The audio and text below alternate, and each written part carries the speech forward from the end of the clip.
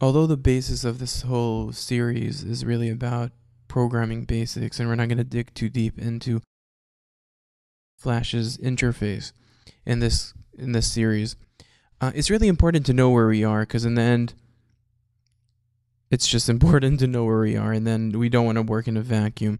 And for that, we're just going to really, really touch briefly over a few kind of critical things that you just have to know about Flash before you could actually build Flash applications. Flash is a time based programming language. And its history was really a timeline, and it evolved into a programming language, and it's now so much more than just a timeline. But if I just open up again, and we're now in CS5, but it really doesn't matter which version we're in, and we open up our our new FLA file, we'll see that we have our timeline. If we can't find it, we could always go through our window again and search for our timeline and find it. Now, we're not going to focus too much, well, we're not going to focus at all on the timeline in our programming currently. But the one thing that we do want to note is understand that there is a timeline. And what is that timeline? Flash by default is going to run at a certain amount of frames per second. And we could change those settings. We're going to see how to do that as we look into the published settings. But right now we're talking about just an overview over some items that we're not really going to dig too deep into. So we could see that our current frame rate, if you look right here, you'll see that our current frame rate is 24 frames per second, which means that Flash is going to try to run the application, well, run the frames 24 times a second. So this is our time, our, well, our, our, whatever you want to call this, our line that goes through at time. So right now we're in frame one, but our application could have had many frames. And if, if we were focusing on animation or we were timeline animators, we would just create our application and drawings online. Uh, well, on here, not online, but on this frame, on these keys and build our applications. But we're not really focused on that. But we need to understand that that exists. And we're going to look at that in, in videos that their topics are not related to basic programming. But it's important to know that Flash runs on a timeline. Our application will always have also a stage. So our scene itself is our, our main view. This is our application right now. So if I run it, and don't worry about how I'm running it right now, because we're going to see that in the next video. If I run the application, you're going to see that right now our application has nothing. It's running nothing. There's nothing in it. It's just a blank white screen. And our default name is unit, you know, untitled 8 because we never saved the file. Okay, so nothing is new here. What else could we do? So we have our tools. And again, you can't find the tools just go to your window, search for tools, and then you got your tools.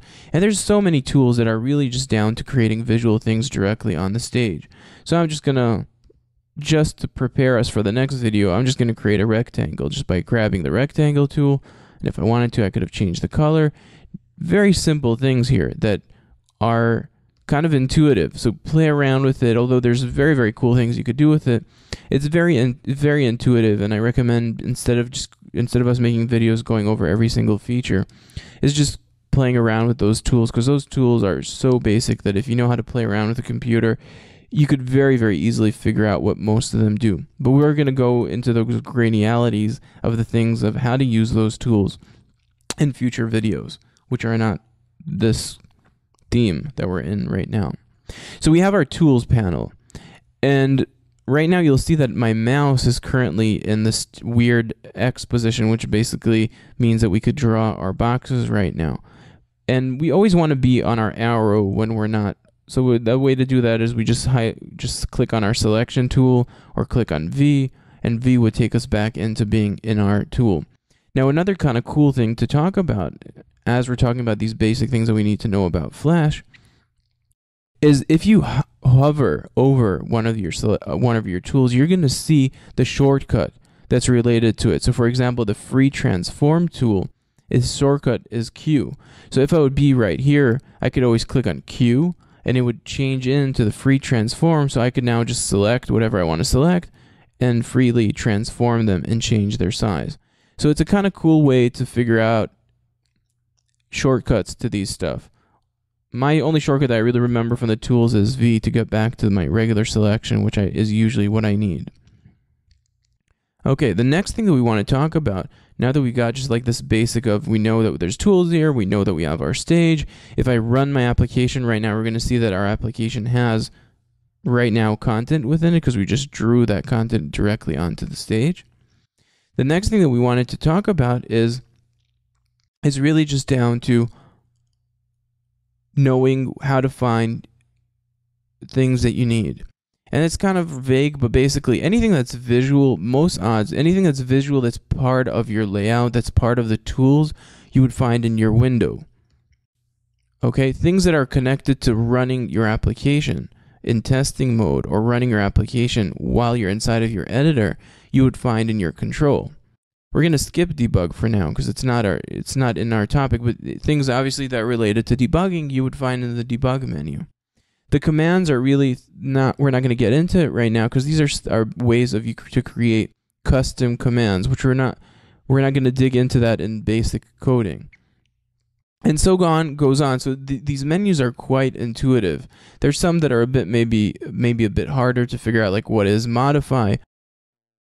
But modify, as the name implies, is changing things, but things that I guess that we could not visualize directly on the stage, which are mainly things that are connected to different types of objects, our timeline, um, and so on, or in general, our document itself, which we're going to look into that when we start talking about the pro- the publish settings.